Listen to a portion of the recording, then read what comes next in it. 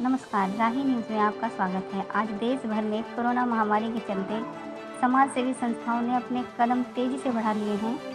खबर सहारनपुर से है, जहाँ श्री गोपाल मंदिर सेवा समिति ने कोरोना के चलते खाने की रसोई का उद्घाटन किया है, जिसमें मुख्य अतिथि मेयर संजीव वालिया ने भी अपना योगदान दिया। सहारनपुर से हमारे संवाददाता मोहन कश्यप की रिपोर्ट।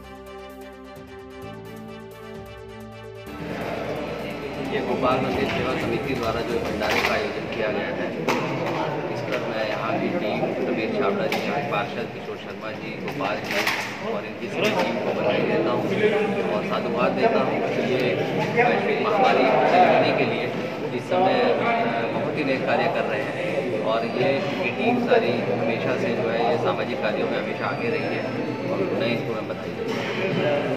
खाना पकाना बड़ा मुश्किल हो रहा था। तो हमने जो है एक टीम बनाई गोपाल मंदिर सेवा समिति की ओर से।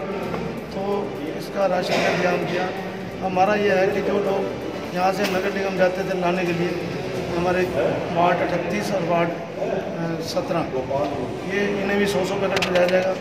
उसके बाद जो आम गरीब लोग हैं, जो बिल्कुल हैंड टू माउथ हैं, और ना आने जोगे हैं और ना वो खाने जोगे हैं तो उनके यहाँ पैकेट बना के खाना मिला। ये हमारा। to